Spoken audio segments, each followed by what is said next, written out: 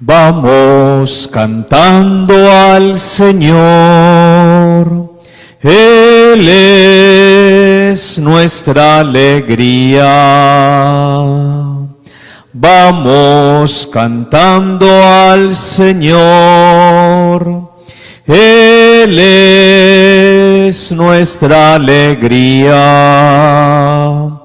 La luz de un nuevo día venció la oscuridad, que brille nuestras almas la luz de la verdad. Vamos cantando al Señor. Él es nuestra alegría. Vamos cantando al Señor. Él es nuestra alegría.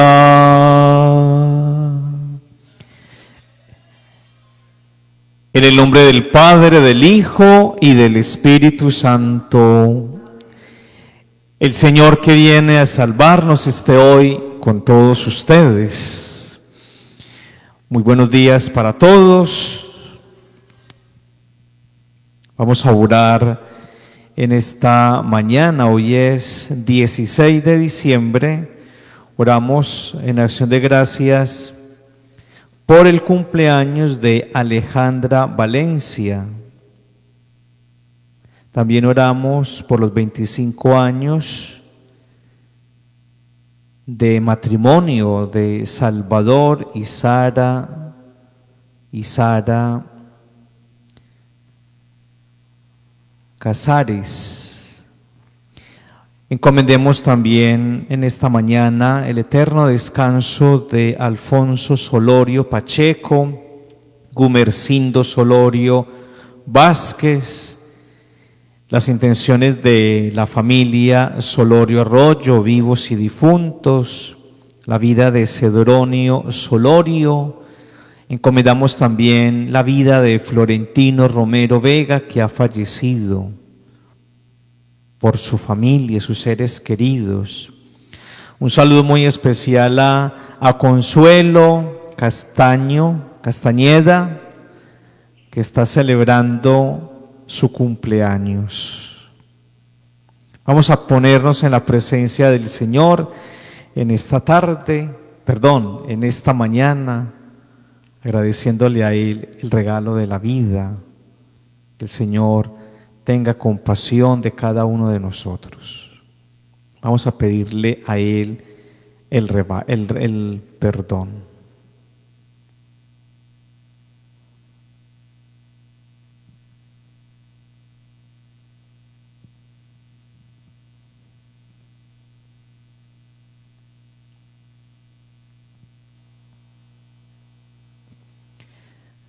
Yo confieso ante Dios Todopoderoso y ante ustedes, hermanos, que he pecado mucho de pensamiento, palabra, obra y omisión. Por mi culpa, por mi culpa, por mi gran culpa.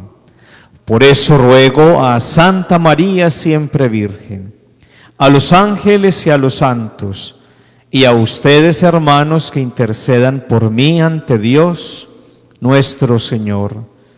Dios lleno de amor, tenga misericordia de nosotros, perdone nuestras faltas y nos lleve a la vida eterna. Oremos. Concédenos, concédenos, Dios lleno de amor que la fiesta ya cercana del nacimiento de tu Hijo nos conforte en esta vida y nos obtenga la recompensa eterna. Por Jesucristo nuestro Señor. Vamos ahora a disponernos a, escuchar la palabra.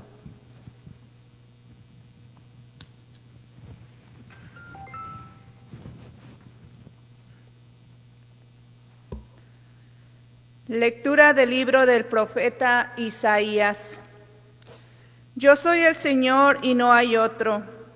Yo soy el artífice de la luz y el creador de las tinieblas.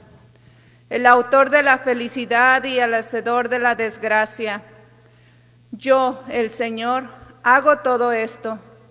Dejen cielos caer su rocío y que las nubes lluevan al justo. Que la tierra se abra y haga germinar al Salvador. Y que brote juntamente la justicia. Yo, el Señor, he creado todo esto. Esto dice el Señor. Él creó los cielos, el mismo Dios que plasmó y consolidó la tierra. Él no lo hizo para que quedara vacía, sino para que fuera habitada. Yo soy el Señor y no hay otro. ¿Quién fue el que anunció esto desde antiguo? ¿Quién lo predijo entonces? ¿No fui yo, el Señor? Fuera de mí no hay otro Dios. Soy un Dios justo y salvador, y no hay otro fuera de mí. Vuélvanse a mí y serán salvados, pueblos todos de la tierra, porque yo soy Dios y no hay otro. Lo juro por mí mismo.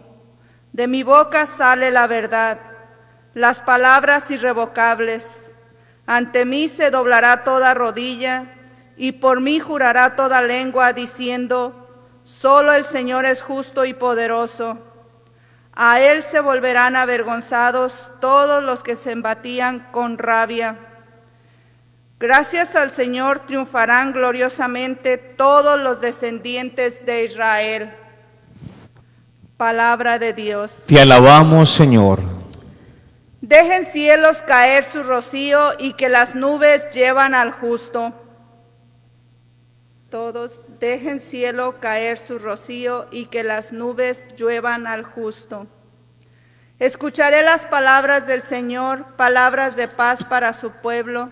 Está ya cerca nuestra salvación y la gloria del Señor habitará en la tierra. Dejen cielos caer su rocío y que las nubes lluevan al justo. La misericordia y la verdad se encontraron la justicia y la paz se besaron, la fidelidad brotó en la tierra y la justicia vino del cielo. Dejen cielos caer su rocío y que las nubes lluevan al justo. Cuando el Señor nos muestre su bondad, nuestra tierra producirá su fruto.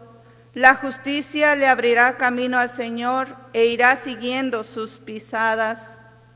Dejen cielo caer su rocío y que las nubes lluevan al justo. Ven, ven Señor, no tardes.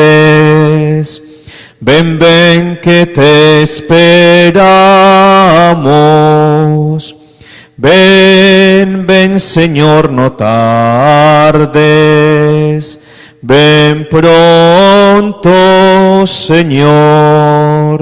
Levanta tu voz para anunciar la buena nueva. Ya viene el Señor nuestro Dios con todo su poder. Ven, ven Señor, no tardes. Ven, ven que te esperamos. Ven, ven Señor, no tardes. Ven pronto, Señor. El Señor esté con todos ustedes. Proclamación del Santo Evangelio según San Lucas. En aquel tiempo, Juan, llamando a dos de sus discípulos, los envió al Señor diciendo, ¿Eres tú el que ha de venir o tenemos que esperar a otro? Los hombres se presentaron ante él y le dijeron, Juan el Bautista nos ha mandado a ti para decirte, ¿eres tú el que ha de venir o tenemos que esperar a otro? En aquella hora Jesús curó a muchos de enfermedades, achaques, malos espíritus a muchos ciegos les otorgó la vista. Y respondiendo les dijo, vayan y anuncien a Juan lo que han visto y oído. Los ciegos ven, los cojos andan, los leprosos quedan limpios, los sordos escuchan, Los muertos resucitan, a los pobres se les evangeliza. Y bienaventurado el que no se escandalice de mí. Palabra del Señor.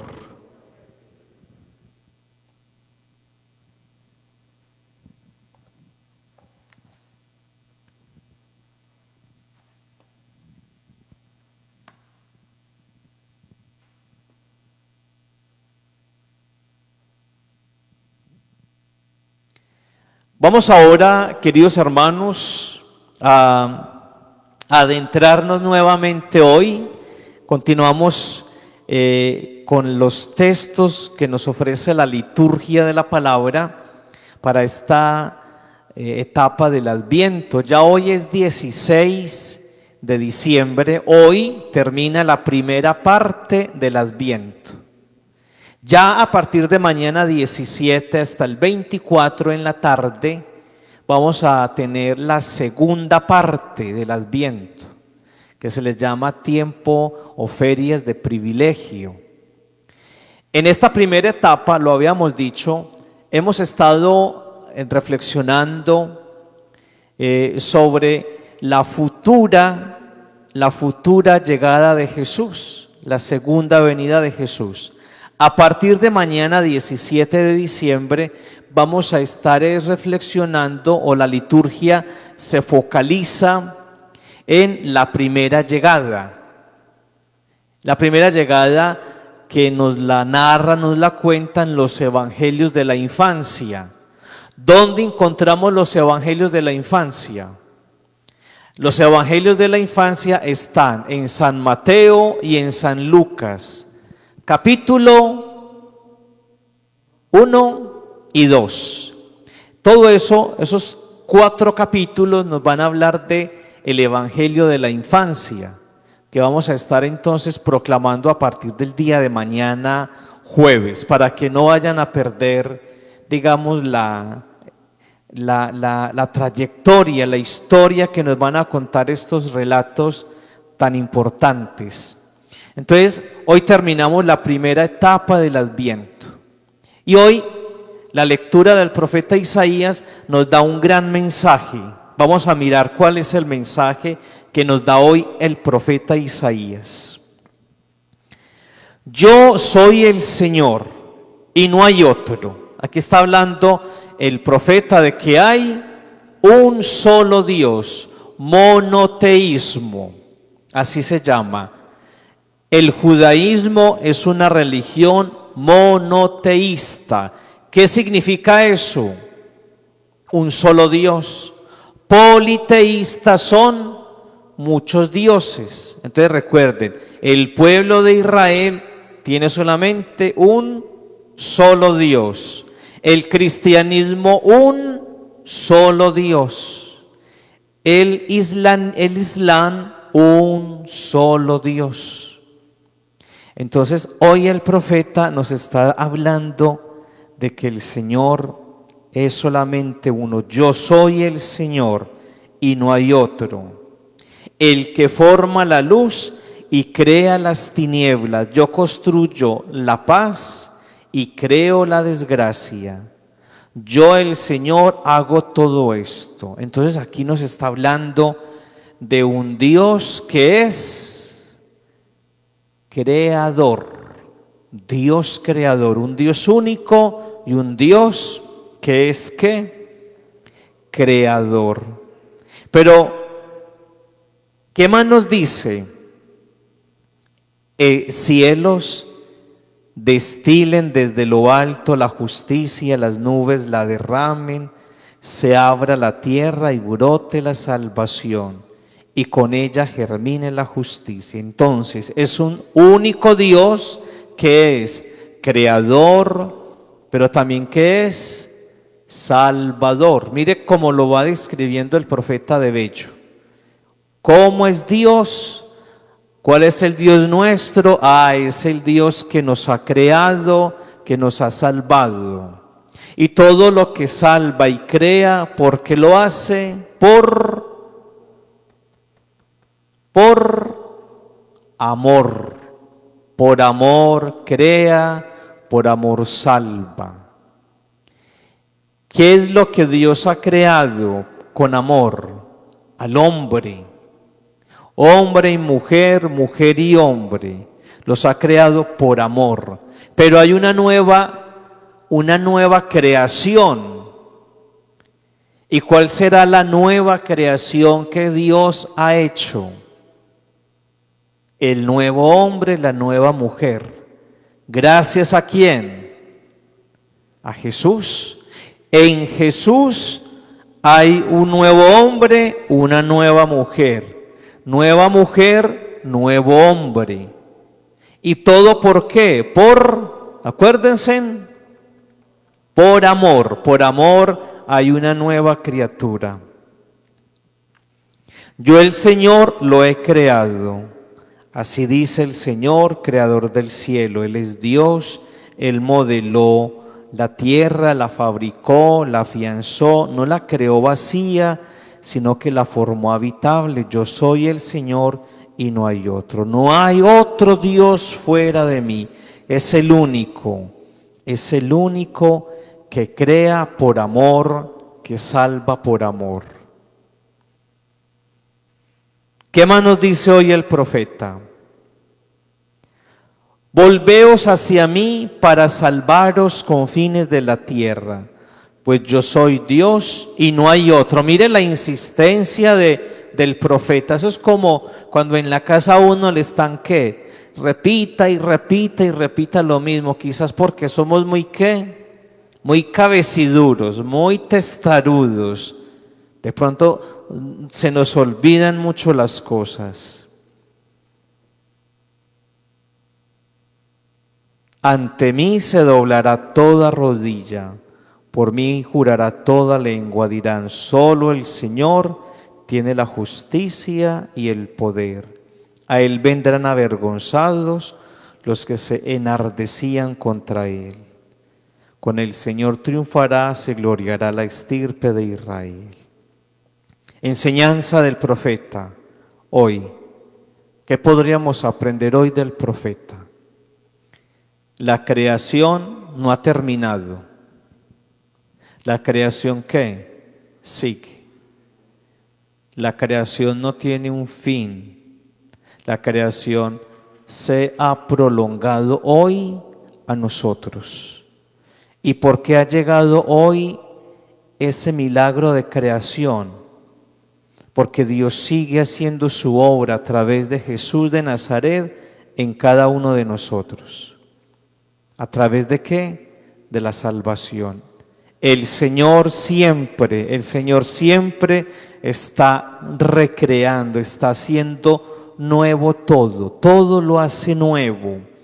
Por eso el Señor Jesús le dijo a Nicodemo, ¿se acuerdan? El relato de Nicodemo que hay que volver a qué? Hay que volver a nacer. ¿Qué significa nacer? Recrear. Yo voy a volver a a florecer. En estos días escuchábamos un bellísimo texto del profeta Isaías, donde se habla de que lo que estaba como desértico se va a volver un gran qué, un vergel. ¿Qué es el vergel? El vergel es un jardín donde había esterilidad, había muerte, sequedad. Todo vuelve a qué? A recuperarse la dinámica de la salvación es esa, recuperar lo perdido. Y eso es lo que vamos a celebrar en la Navidad. En la Navidad no celebramos que llega Santa Claus o el Papá Noel o, los Reyes Magos o que llega el niño Jesús con una bolsada de regalitos para los muchachitos. No, eso no es Navidad.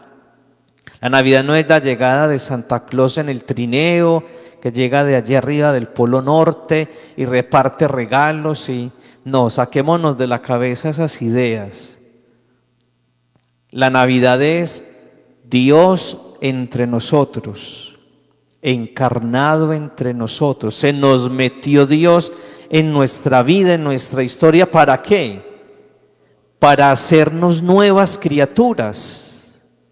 Pero hemos convertido la Navidad simplemente en un negocio, en un comercio de comprar y gastar, eh, nos robaron a muchas personas, les robó el, consumismo la Navidad. En muchos lugares la Navidad empieza casi desde octubre. Desde noviembre ya es que es Navidad para muchos.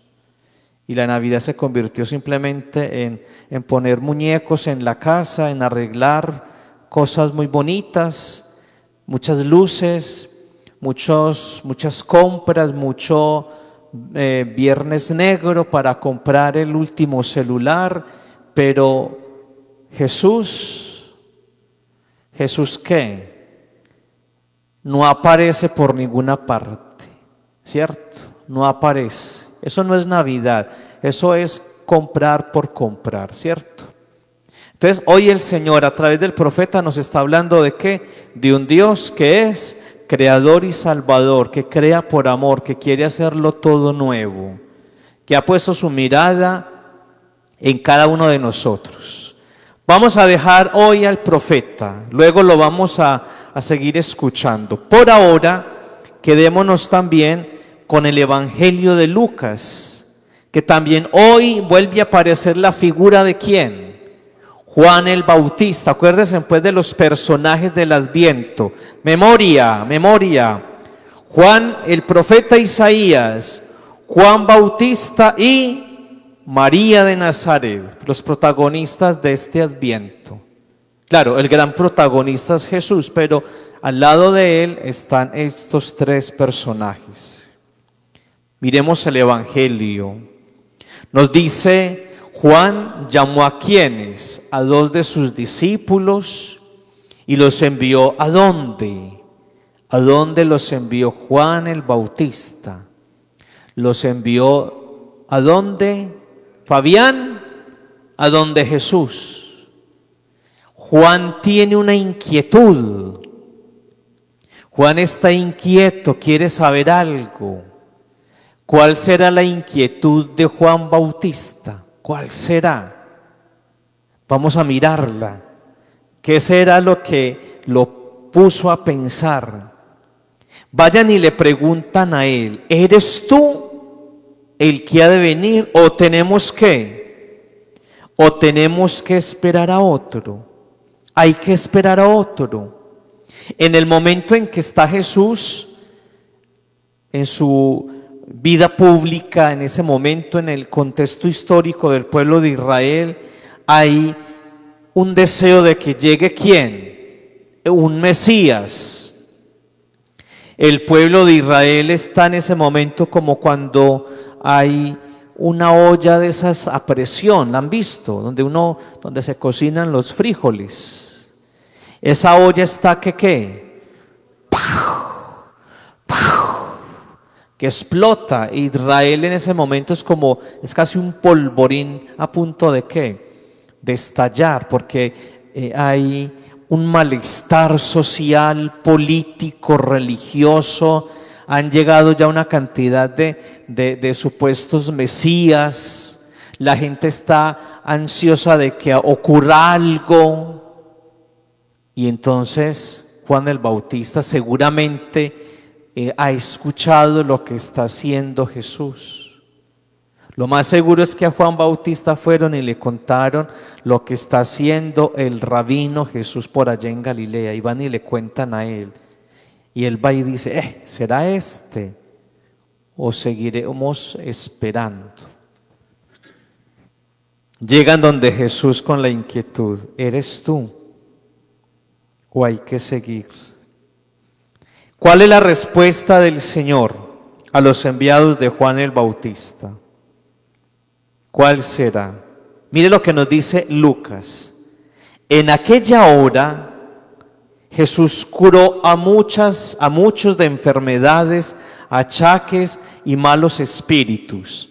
Ahí hay una clave para conocer quién es Jesús de Nazaret. ¿Eres tú el que estábamos esperando? Y la respuesta de Jesús es que ponese a echar discursos, ponese a hablar de él mismo. No, señores, ¿qué es lo que hace Jesús? ¿Cuál es la respuesta a los enviados de Juan el Bautista? ¿Cuál será la respuesta, muchachas, caballeros? Mis obras Mis obras son las que dan testimonio de quién soy. Soy yo. ¿Quién soy yo?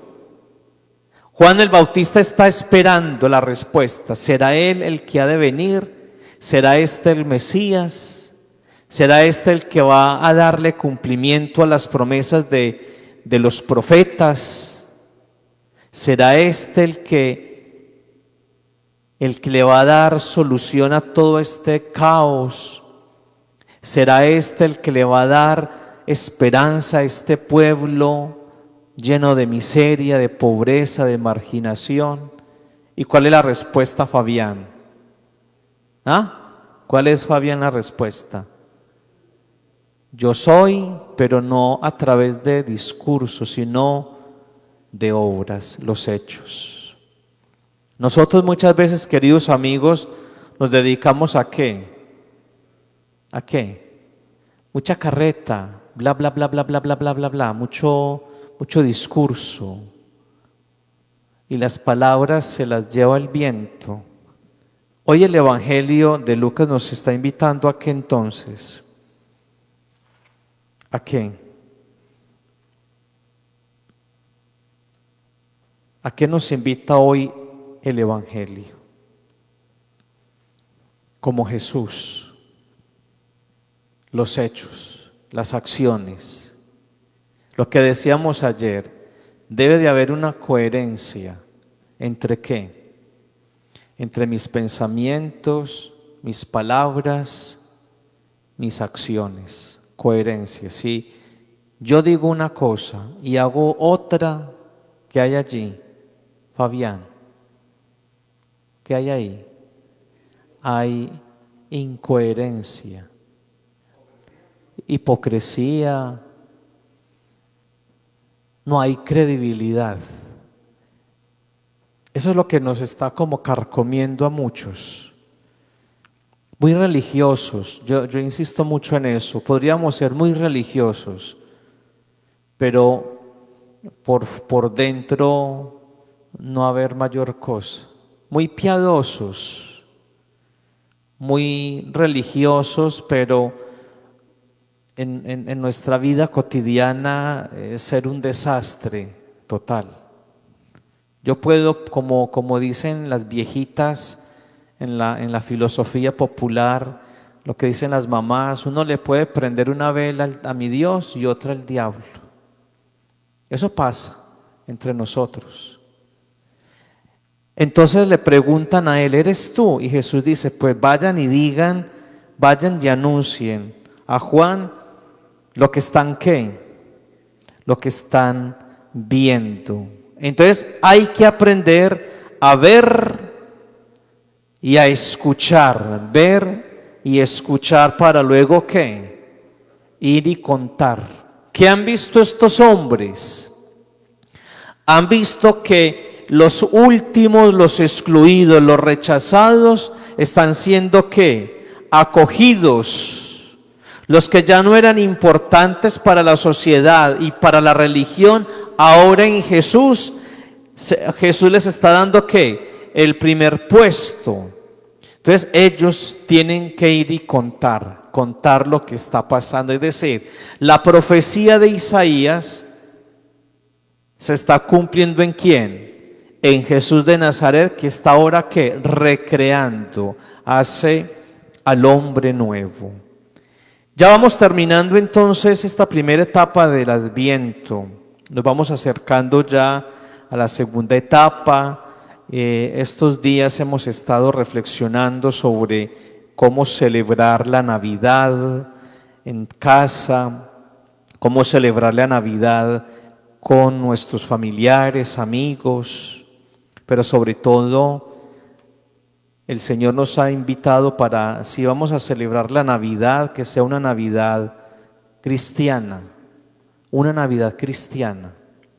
Yo puedo celebrar una Navidad pagana donde simplemente se vuelve todo como un carnaval, un carnaval de, de cosas muy bonitas, de muchos regalitos, pero que no hay que, no hay, no hay conversión, no hay transformación Podríamos convertir todo esto como en un circo. ¿Qué pasa? ¿Qué pasa? De la Navidad para muchos no se puede, se, se puede convertir en poner un arbolito en estos días y, y, el 26 de diciembre, ¿qué, están, ¿qué hacen con el arbolito?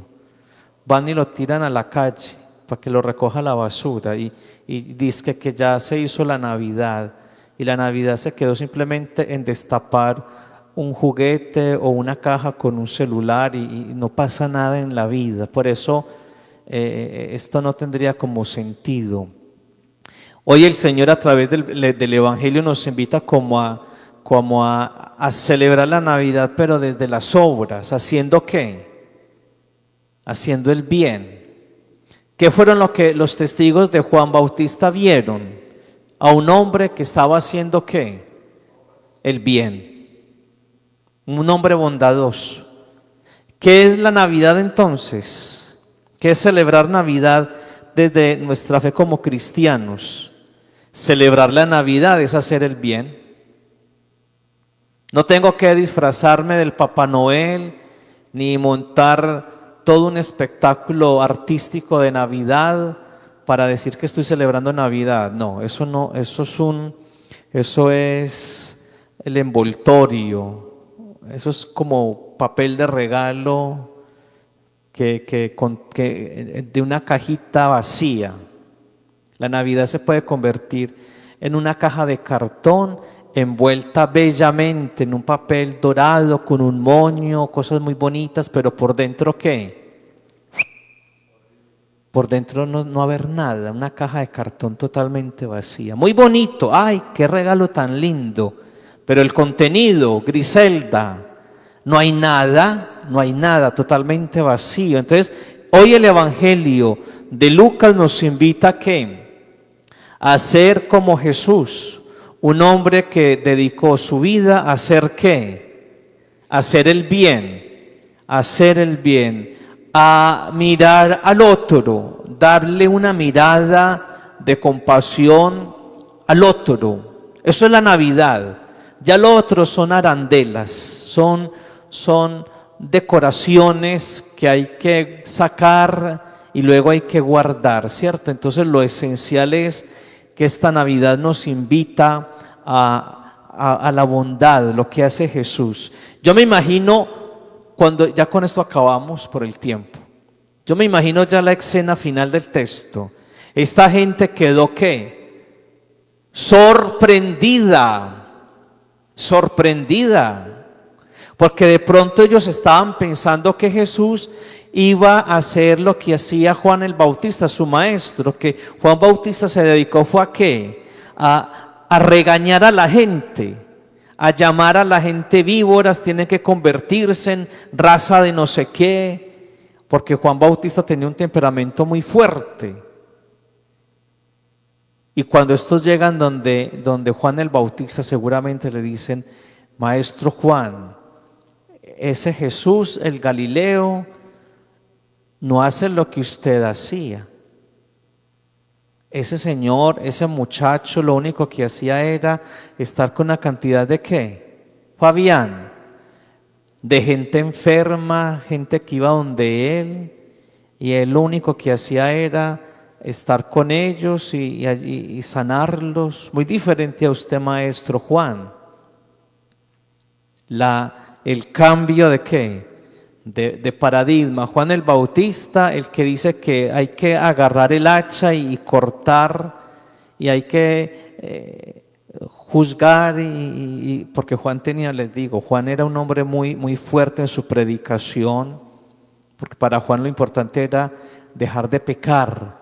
Para Jesús lo importante que es hacer el bien, hacer el bien. Qué, qué cambio, ¿cierto? Qué cambio tan, tan grande. No es que Juan se haya equivocado, no, pero Jesús, Jesús mira más allá del pecado de la gente, de sus fallas, porque Jesús está convencido de que para que se dé conversión, para dejar de pecar, hay que llegar al pecador, pero ¿con qué? Con amor, acoger al pecador para que el pecador deje de qué?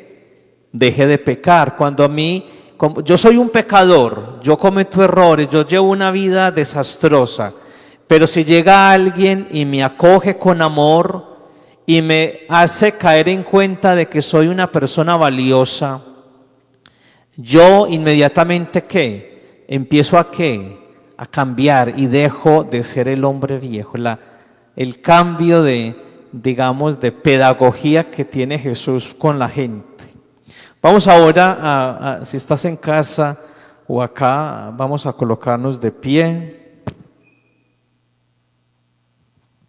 Queridos amigos, oremos Jesucristo es el sacerdote nuevo y eterno que intercede por nosotros ante el Padre. Oremos pues confiadamente. A las siguientes súplicas vamos a, eh, a decir, escúchanos Señor, por la iglesia, para que pueda anunciar a Cristo con las palabras, pero sobre todo con las obras, roguemos al Señor por los enfermos y por todos los necesitados, para que encuentren en su vida a hermanos que a ejemplo de Cristo les tiendan la mano y les ayuden, roguemos al Señor. Por los gobernantes, para que busquen siempre la paz, la misericordia y la justicia, roguemos al Señor. Por todos nosotros, para que por la fuerza de esta Eucaristía, seamos anunciadores y testigos de la buena noticia, roguemos al Señor. Padre lleno de amor, acoge las oraciones de toda esta familia, por medio de Jesucristo nuestro Señor. Vamos ahora a sentarnos, el pan, el vino, aquí en esta mesa, pero también presentamos la vida de cada uno de ustedes, de esta comunidad, de nuestras familias, para que como ofrenda le agrademos a Él.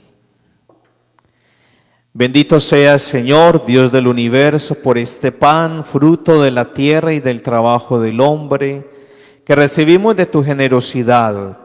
Y ahora te presentamos, Él será para nosotros pan de vida. Bendito seas por siempre, Señor. Bendito seas, Señor Dios del universo, por este vino, fruto de la vid y del trabajo del hombre, que recibimos de tu generosidad. Y ahora te presentamos, Él será para nosotros bebida de salvación.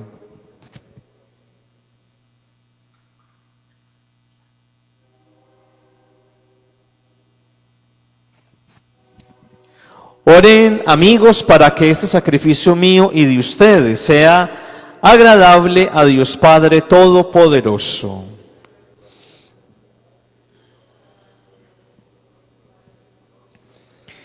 Que este sacrificio, Señor, que te ofrecemos con devoción, nunca deje de realizarse para que cumpla el designio que encierra tan santo misterio por Jesucristo nuestro Señor. El Señor esté con ustedes. Levantemos el corazón. Demos gracias al Señor nuestro Dios. En verdad es justo darte gracias, Padre, porque no dejas de alentarnos a tener una vida más plena y como eres rico en misericordia, ofreces siempre tu perdón e invitas a los pecadores a confiar en tu perdón. Nunca te has apartado de nosotros, que muchas veces hemos quebrantado tu alianza y por Jesucristo tu Hijo, tan estrechamente te has unido a la familia humana con un nuevo vínculo de amor que ya nada lo podrá romper. Y ahora, mientras le ofreces a tu pueblo un tiempo de gracia y reconciliación, alientas a esperar en Cristo Jesús a quien se convierte a ti y le concedes ponerse al servicio de todos los hombres, confiando más plenamente en el Espíritu Santo. Por eso llenos de admiración, cantamos el himno de tu gloria. Santo, santo Santo es el Señor, oh sana en las alturas. Bendito es el que viene, el nombre del Señor. Santo eres en verdad, Señor, que desde el principio del mundo obras siempre para que el hombre sea santo como tú mismo eres santo. Te pedimos que mires los dones de tu pueblo y derrames sobre ellos la fuerza de tu espíritu, para que se conviertan en el cuerpo y en la sangre de tu amado Hijo Jesucristo. Aunque en otro tiempo estábamos perdidos y éramos incapaces de acercarnos a ti, nos amaste hasta el extremo. Tu Hijo, que es el único justo, se entregó a sí mismo a la muerte, aceptando ser clavado en la cruz por nosotros. Pero antes de que sus brazos, extendidos entre el cielo y la tierra, trazasen el signo indeleble de tu alianza, él mismo quiso celebrar la Pascua con sus amigos. Mientras comía con ellos, tomó pan. Dando gracias, te bendijo, lo partió y lo dio diciendo, Tomen y coman todos de él, porque esto es mi cuerpo que será entregado por ustedes. El cuerpo de Cristo tiene poder, tiene poder, tiene poder. El cuerpo de Cristo tiene poder para liberar. Del mismo modo, acabada la cena, tomó el cáliz lleno del fruto de la vid y dando gracias de nuevo lo pasó a sus amigos, diciendo, tomen y beban todos de él, porque este es el cáliz de mi sangre. Sangre de la alianza nueva y eterna que será derramada por ustedes y por todos para el perdón de los pecados. Hagan esto en conmemoración mía. La sangre de Cristo tiene poder, tiene poder, tiene poder. La sangre de Cristo tiene poder para liberar. Este es el misterio de la fe. Cristo se entregó por nosotros. Digamos todos, Salvador del mundo, sálvanos.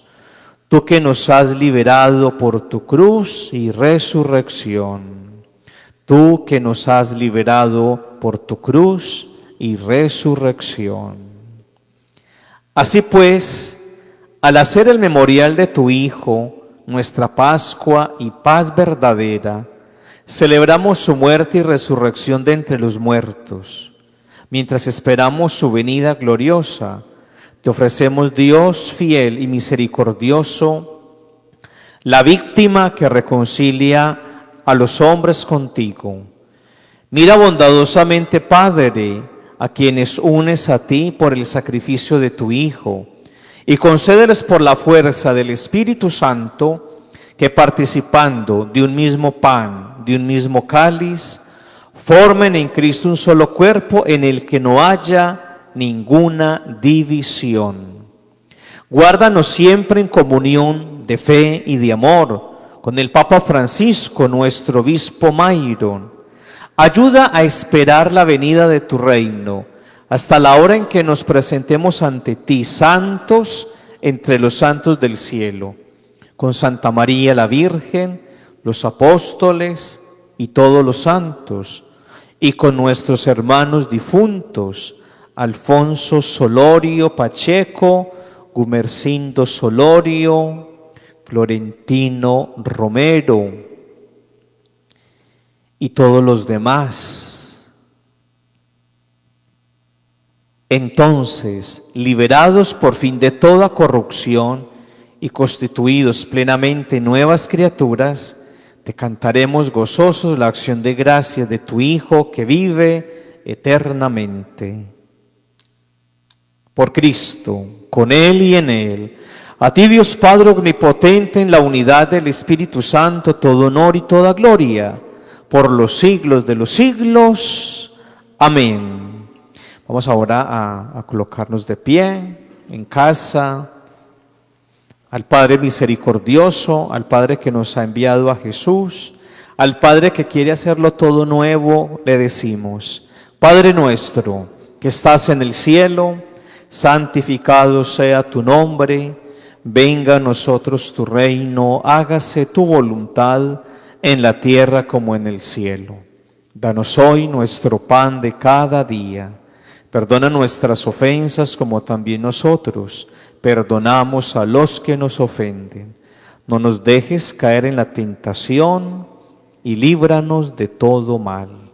Líbranos de todos los males, Señor, y concédenos la paz, para que, ayudados por tu misericordia, vivamos siempre libres de pecado y protegidos de toda perturbación, mientras esperamos la gloriosa venida de nuestro Salvador Jesucristo. Tuyo es el reino, tuyo el poder y la gloria. Señor Jesucristo, que dijiste a tus apóstoles, la paz les dejo, mi paz les doy. No tengas en cuenta nuestros pecados, sino la fe de tu iglesia, y conforme a tu palabra concédele la paz y la unidad, tú que vives y reinas por los siglos de los siglos. La paz de Jesús esté con todos ustedes. Nos damos un signo fraternal de paz.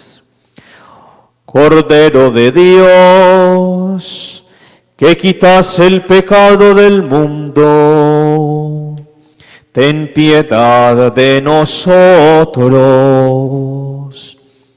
Cordero de Dios, que quitas el pecado del mundo, ten piedad de nosotros. Cordero de Dios, que quitas el pecado del mundo, danos la paz. Queridos amigos, este es Jesús, Cordero de Dios, que quita el pecado en cada uno de nosotros. Digámosle a Él, Señor, no soy digno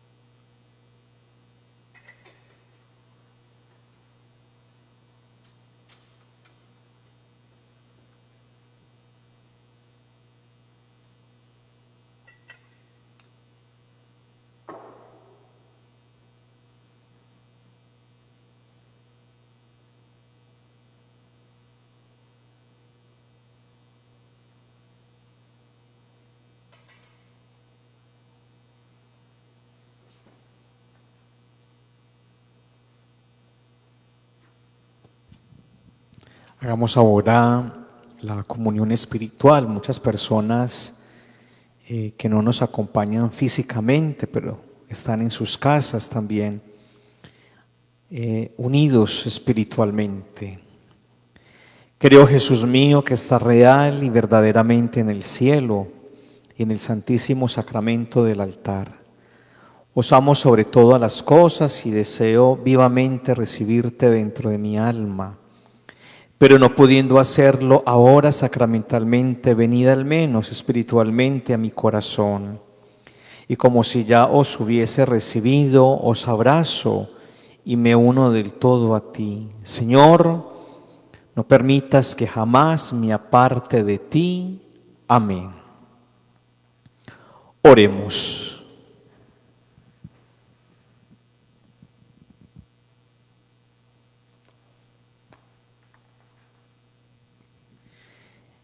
Imploramos, Señor, tu misericordia para que estos divinos auxilios nos preparen, purificados de nuestros pecados, para celebrar las fiestas venideras.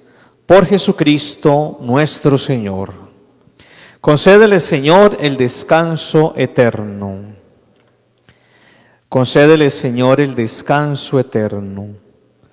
Nuestros hermanos Alfonso Solorio Pacheco, y Gumercindo Solorio Vázquez, Florentino Romero, por la misericordia de Dios, descansen en paz. Con todo el cariño felicitamos hoy a Alejandra Valencia, celebrando un año más de vida, 25, perdón, eh, un cumpleaños más en su vida, también los 25 años de vida matrimonial de Salvador y de Sara. Un saludo también para, para Cedronio Solorio, su familia, sus intenciones en el día de hoy. Para Consuelo, Consuelo eh, Castañeda, allá en la parroquia de la Reconciliación, que en el día de ayer estuvo cumpliendo un año más de vida. Un, saludo muy bien para ella. Desde acá la recordamos con todo el cariño.